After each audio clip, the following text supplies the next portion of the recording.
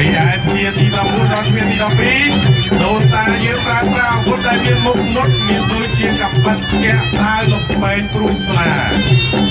ហើយរីឯអាវុធដែលគ្មានមុតមានដូចជាដំៀបទៀបស្រូវទៀបផ្នោតខែដបងវែងខ្លីពិសេសបំផុតគឺក្រមា បាយគុណរបស់កតោខ្មែរនៅពេលដែលយកប្រកួតប្រយុទ្ធនៅក្នុងកម្មវិធីបុណ្យចូលឆ្នាំមហាអង្គរសង្ក្រាន្តបុណ្យជុំបិណ្ឌបុណ្យតាលានបុណ្យប្រពៃណីជាតិជាច្រើនទៀតយើងតែងតែសម្គាល់ឃើញកីឡាករស្លៀកពាក់ជាស្លៀកបំពាក់ទាហានជាបានសម័យបុរាណខ្មែរនាសម័យដើមកីឡា ករយកក្រមាជូតក្បាលយកក្រមាចងចង្កេះព្រមទាំងចងរឹតខ្សែបោះឆៅប្រហោបដៃក៏ពួនដៃដើម្បីទាញយកកម្លាំងមកវាយទួនាទីរបស់កម្មាដើម្បីពេលដើរព្រៃដូនតាយើងຕົកដាំបាយវិញខ្ចប់ក្រៅរដប់ស្លៀកមួយធូបទឹកនិងស្លៀកនិងត្រៀមប្រគុណប្រយុទ្ធ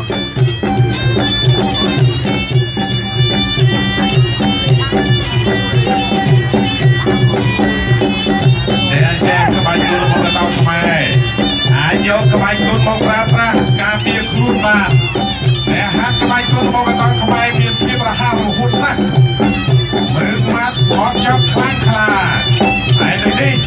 អស់ពេលជាច្រើនឆ្នាំលោកគ្រូអ្នកគ្រូបានមូលកំណត់មួយផ្ដើមកោះកកាយអភិរិយនិងអភិវឌ្ឍក្បាច់គុណរបស់កតោខ្មែរបានស្លាប់បានបោជីវិតជាច្រើនទស្សវត្សរ៍មកហើយនោះហើយរស់ឡើងវិញជាបន្តើបន្តើ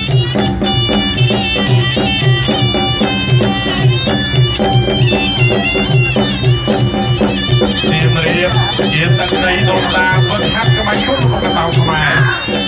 អស់ជាច្រើនចំនួនសូមអរសាទរកីឡាករទៀតសាលាគុណលះអរៃយុបណ្ឌិតសភារបស់កតោកម្ពុជា